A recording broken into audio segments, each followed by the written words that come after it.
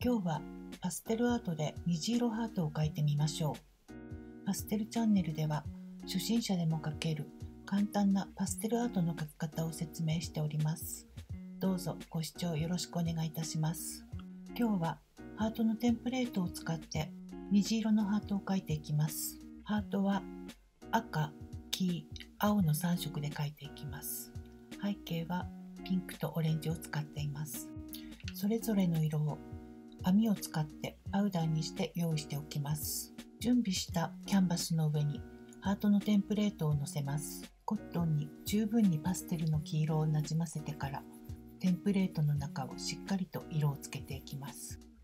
黄色が終わったら次は青を塗っていきます。黄色と青が重なったところがグラデーションでグリーンになります。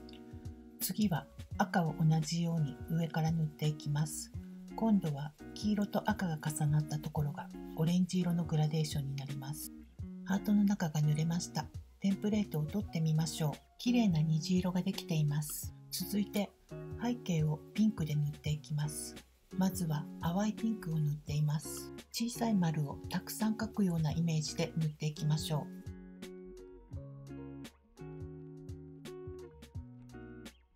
次は濃いピンクで塗っていきます。先ほどの色がついていないところに塗っていきます。3色目のオレンジ色を入れていきましょう。1色目と2色目のピンクの間に入れて全体的に明るいイメージにしていきます。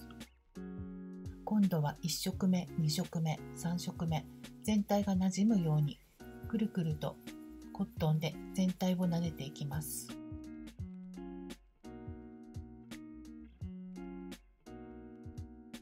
3色が馴染んだら背景の完成です。次は練り消しを使って水玉模様を入れていきます。練り消しは使う前によく練って柔らかくしてから使い始めます。何箇所か丸を描くと練り消しに色がついてしまいます。時々面を変えるようにして使っていきましょう。